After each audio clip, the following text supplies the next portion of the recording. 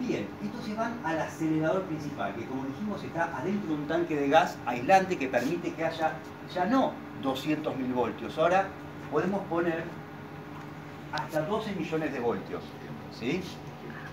Entonces, acá abajo, átomos, por interacciones eléctricas.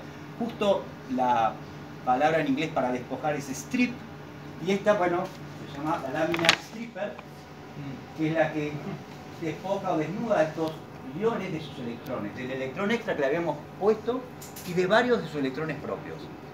Átomo al que le faltan electrones, ¿qué carga tiene? Positiva, es un Positiva, entonces ahora son iones positivos. Entonces, si ve los No, atraída un anión. al principio, No, ahora los repele. Es, em, es una torre, ¿no? Todo es una torre como de 20 pisos. El tanque de acelerador es una- tiene 35 metros, como si fuera un edificio de 10 pisos. Y todo está, todo está compuesto de eso. Y de hecho esto está sacado de una plataforma que cuelga de estos cables para hacer reparaciones. Acá se ve la plataforma, acá abajo. E incluso hay un ascensor interno unipersonal con el que uno puede ir por adentro y hay un agujero para ir trepado. A mí me, encanta ir trepado. Bien. Por supuesto, cuando están parados en reparaciones, no, no, no funcionando. Bueno, el mecanismo es el siguiente. ¿Saben lo que es un capacitor eléctrico? ¿Sí? ¿Algunos sí? Bueno, vamos a hacer un resumen. Supongamos que tengo una placa positiva, un pedazo de chapa positiva, un pedazo de chapa, y otro pedazo acá, de chapa. Le pongo aislante en el medio, ¿sí?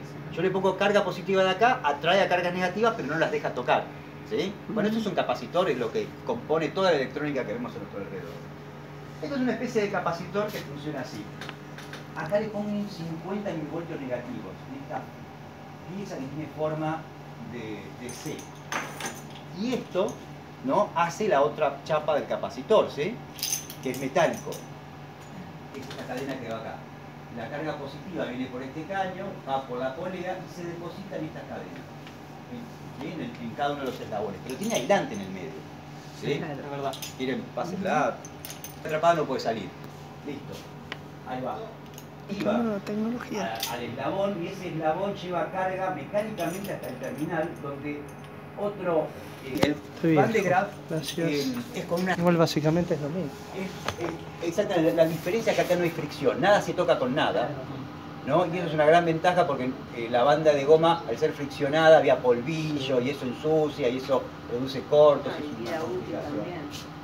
¿Cómo, cómo? Vida útil también. vida útil la, la- la- la- Tiempo de parada hay que reemplazar. Exactamente. Partes es. bueno Que cambiaron los paradigmas, no usan más Van der Graaf desde el 2005. eh, Esta es la cadena de hierro que para se carga, por eso tiene aislantes. Y va cediendo las cargas, si hace foco estaría bueno. Ay, me gustó más. ¿Mm? Se va cargando va cediendo las cargas. Ahí está mostrando la parte que vamos a ver ahora. Bueno, ahí es donde Además, nos permite hacer lo siguiente. el imán que desvía de vertical Esto lo controlamos desde este módulo. ¿sí? los distintos laboratorios. Esto representa el acelerador, por más que lo hayan dibujado cortito. No sé si, si no ven, vengan, vengan más cerca, todo bien. Supongan que la tensión es excesiva. ¿Qué pasa si la tensión es excesiva? No puede doblar, derrapa en la curva. Al derrapar en la curva va a chocar contra, acá dice HE slit, High Energy Slit, el pedazo de chapa donde choca cuando hay energía demasiado alta.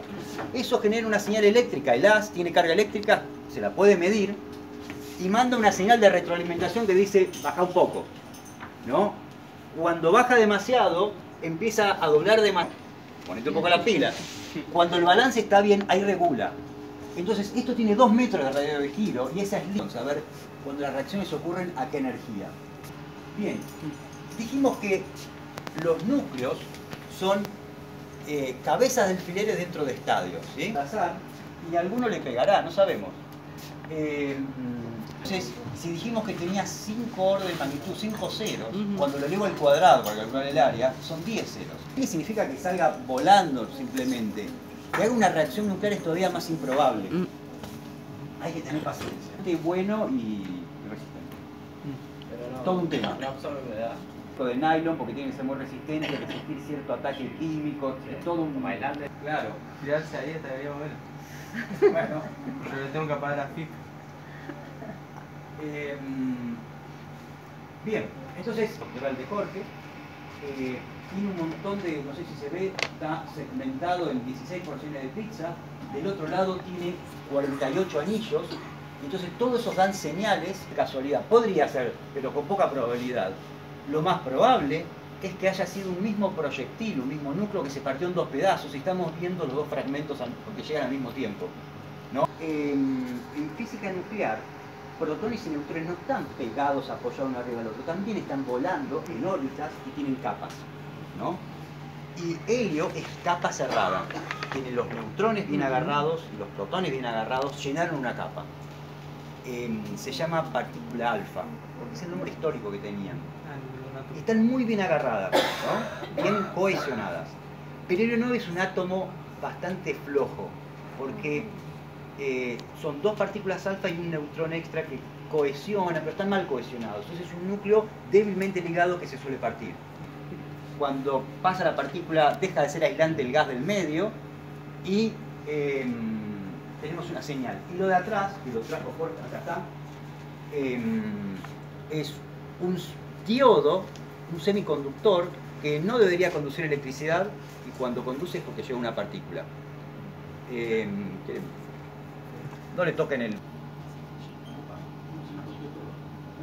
Y la masa y la velocidad están ligadas, entonces midiendo velocidad y energía determinamos la masa. Em, bien, todo esto está hecho el núcleo. Acá Emanuel, mi colega Emanuel, él hace ciencia aplicada, que es lo siguiente, es agarrar leyes conocidas de la naturaleza, investigadas por los científicos básicos, y aplicarla a cosas útiles para la sociedad. de diámetro micrométrico, ¿sí? A la altura de- del imán, eh, el haz es milimétrico, ¿sí? La mayoría de las aplicaciones se hacen con un haz eh, milimétrico, ¿sí? Bueno, No, no, no. no, tú, no, no, Eh, acá tenemos que ir cerrando y tenemos 10 minutos mar y después Sí, ya sí, dale, entonces cierro. Porque en 10 minutos tenemos otro grupo. Evidentemente para eh, pegar en posiciones de unos cortes histológicos que me interesan y a medida que va pegando el haz se inducen los rayos X que son característicos de los elementos que están en la muestra. Entonces con una bobina de barrido, digamos ahí la, según las energías puedo discernir qué, qué elementos tengo y con una bobina de barrido puedo hacer un mapa de distribución. En este caso tenemos una raíz de una planta acuática que nos ayuda a remediar uranio. Bueno, está el corte transversal de raíz y cómo se ve el mapa de calcio potasio, que son los elementos eh, mayoritarios, y el uranio que tomó. Yo puedo ver dónde tomó el uranio y puedo ver dónde está la raíz. Otras técnicas analíticas no pueden decir dónde está la distribución. Esto lo vamos a ver también en la sala C, daño por radiación.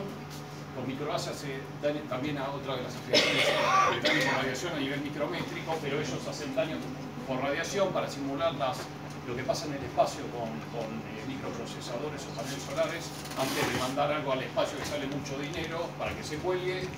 Lo probamos en la Tierra.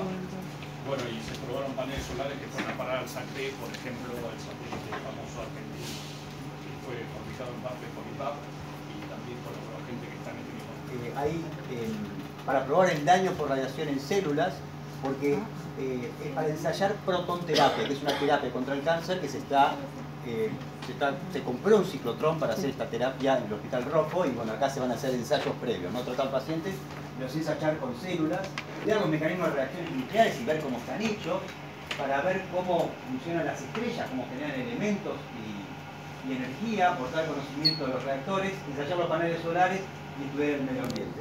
Bueno, ¿van a ver el imán? Sí, pasamos, tenemos 10 minutos en el imán. Bueno, estamos en el laboratorio, donde uno de los cinco que hay ese es el imán que desvía el haz. Miren la puerta, puerta antirradiación. ¿Eh? Miren el brazo. Esto es para aislación, para aislación de la posible radiación que se puede producir. Ahí baja el haz. y tiene una desviación a cada uno de los laboratorios. Distintas ventanas que pueden tomar, que pueden tomar la, muestra, hacen girar. Muchas están tapadas justamente con, si no me equivoco, no sé si es solo arena. Después están las líneas que toman el procedimiento para rotar el, el imán, ven que tiene una base giratoria. Y acá las diferentes líneas los haces acelerados ¿no? a los distintos laboratorios. Cada laboratorio tiene varias varias funciones como ya prearmadas, por ejemplo un espectrómetro que ya está preparado. Gira un pivote sobre una rueda y por acá pasa pasan haces de alta energía acelerados a 20 megavoltios.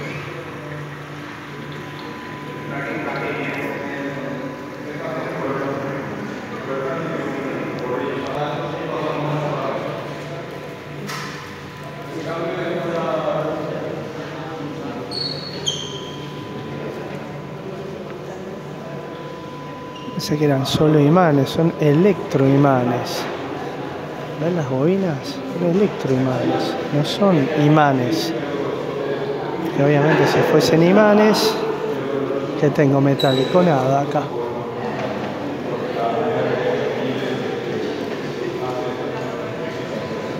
Tienen circulación de circuitos de refrigeración. Esto es refrigeración de la cámara. Hay una cámara que se usa para donde impactan. Hay varias en realidad, ¿no? Acá es una desviación del, del haz. ¿Saben por qué ausencia de oxígeno? Porque si se llega a romper el tanque de hexafluoruro de azufre, el, gas este desplaza el oxígeno, entonces tienen alarmas de ausencia de oxígeno. Ese gas es pesado y tiende a ir hacia abajo. Estos son circuitos de ventilación forzada, porque en el caso de que haya una pérdida de hexafluoruro de azufre, eh, se desplaza el oxígeno. Entonces necesitan los sistemas de alarmas, que está ahí atrás, el sistema de ventilación forzada. El tanque está acá arriba. Por el que pasa el caño ese, tiene 20 pisos de altura. En el momento de que está polarizado el, eh, el acelerador, necesita estar comprimido el azufre a presiones muy altas justamente para ser aislante. ¿no? Eh, hay una parte de alto vacío en la que se produce aceleración de partículas, pero otra en la que hay que aislar la alta tensión, muy a 20 millones de voltios, y después está todo el tema del paso por, un, por una lámina de carbón para cambiarle la polaridad. Por eso tándem, porque en la mitad del tanque la partícula pasa por una por una lámina de carbón que le cambia la polaridad. Eso lo, bueno, lo explicó. Igual me invitaron muy gentilmente a venir los sábados, que sigue funcionando el laboratorio cero. Yo no lo sabía, yo pensé que no, no existía más. Bueno, última toma. Pues 30 años de haber venido acá. Está todo parecido. Hay nuevas tecnologías eh, en muchos lados. Nos despedimos de la puerta de, cemento armado. Que se cierra cuando hay experimentos de, alta radiación. Y de este lado es uno de los laboratorios que, que ya estaba el- la bajada del acelerador, el codo que desvía. Y acá tienen la línea donde se hacen todas las mediciones necesarias de las de partículas en su impacto contra el objetivo que se necesita analizar.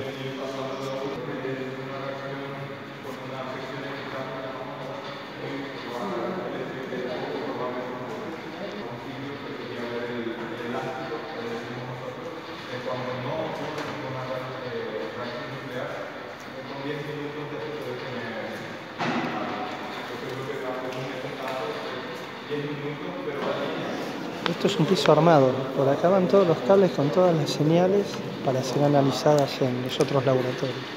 Acá también instalaciones todas por el piso.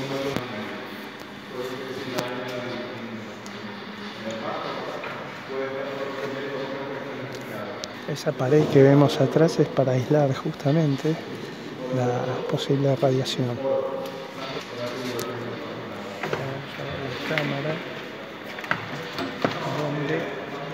Vacío se impacta el acelerado.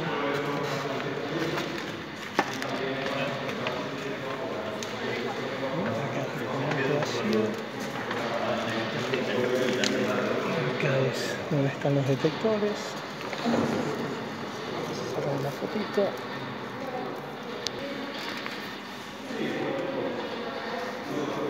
Cuando eso está funcionando se ve un haz azul. Se ve el haz. Dependiendo, bueno, dependiendo del, gas que se esté utilizando en, el haz.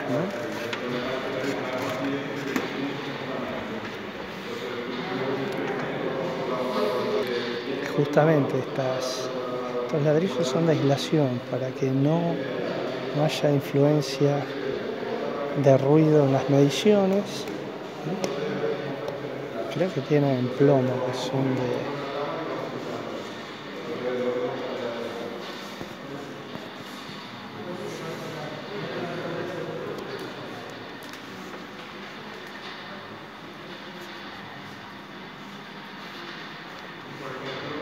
Tienen los, la terminación. Este es el final.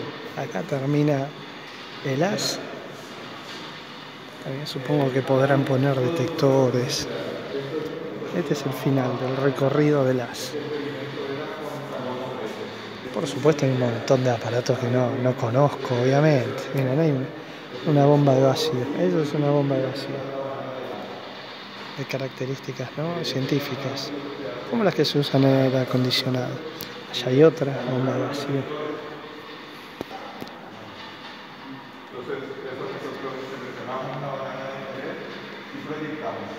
y de acá nosotros, después como ya está calibrado en energía, podemos saber qué procesos ocurrieron. Entonces, acá como una más detallada, donde tenemos ya está identificada las partículas, y al detectar eso, nosotros sabemos los mecanismos de reacción.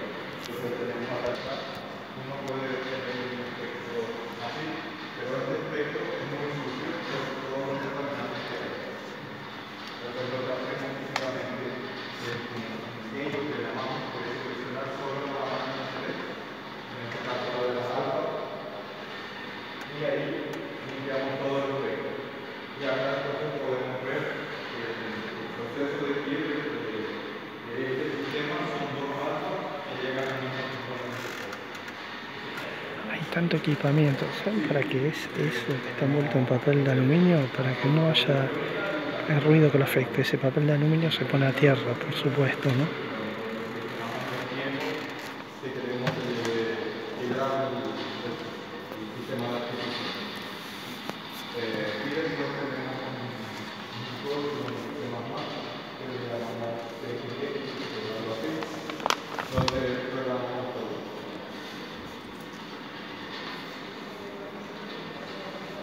Sí, hoy en día se empieza a ver la programación y eh, la otra línea que está del otro lado, donde en los bloques de, de concreto, es la línea de ANS. Vamos a dar la vuelta.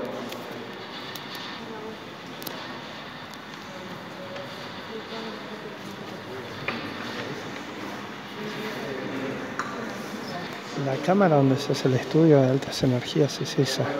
Diferentes etapas que se usan también el análisis de, los haces. Como se pueden ver como diferentes estaciones, ¿no?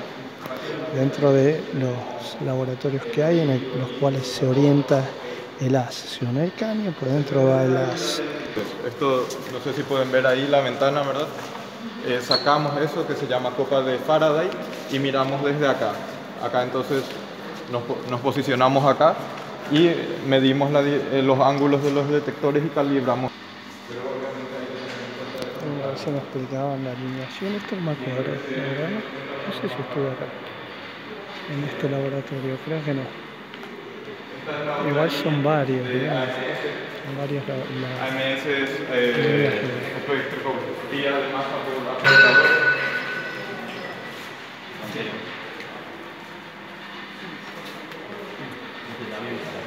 Sí, exactamente lo mismo. Eh, en este caso lo que, eh, como les había comentado, los, tiempos de radiación de la otra sección pueden ser de 8 hasta 8 horas, 12. En este caso, como eh, si se quiere un material que es muy poco abundante, como puede ser un uranio 236, por decir así, ¿verdad? O algo como un oro, cin- eh, hierro 57, que es producto de supernova. Entonces, esto puede estar hasta 72 horas para obtener un solo punto, a diferencia de los espectros que les demostré, que son millones de puntos. Eh, Bueno, esta era parte de también una etapa de vacío. Sabía bien si era una cámara. Ya tenemos una serie de yugos electroimanes que enfocan el haz. Y esto tiene que ver que tiene grandes electroimanes porque necesitan eh, como concentrar con campos electromagnéticos la, energía para poder estudiarla. En este tipo de, de experimento, ¿no? Cada, línea es una configuración del experimento que se quiere realizar, obviamente. En este caso acá está la cámara. Acá está la cámara, ¿eh? donde se hace, se vuelve a traer el haz. Está desconectada esta cámara. Ah. Todo esto tiene que ver con el, el circuito de refrigeración, ¿no? condensadores, las bombas,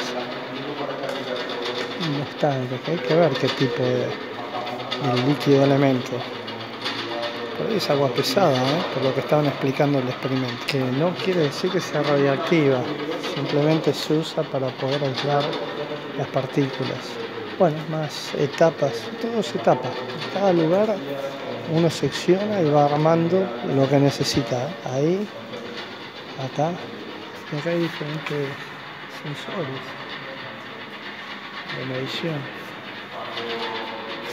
Y esto es para enfocar el haz. Es solamente eso.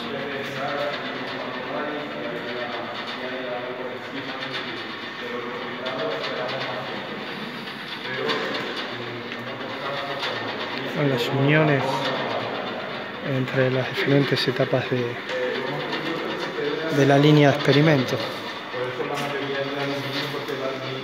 Sí, sí, efectivamente, esta cámara no está en uso, está terminando acá. Ya la movieron.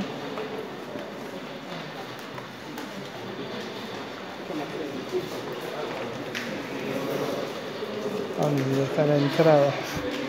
No encuentro, ¿eh? tenía que continuar esto.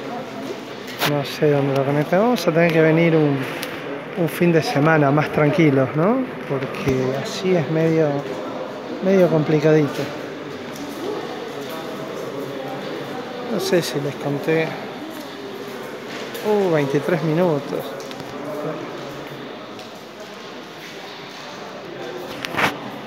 Comentaban que no, que esto es para que si se está trabajando de un lado no irradie del otro por seguridad, pero que cuando se están haciendo mediciones no, no hay nadie acá por seguridad. Y bueno, nos vamos despidiendo de uno de los eh, laboratorios que hay, ¿no? De la sala de experimentación del Tándar.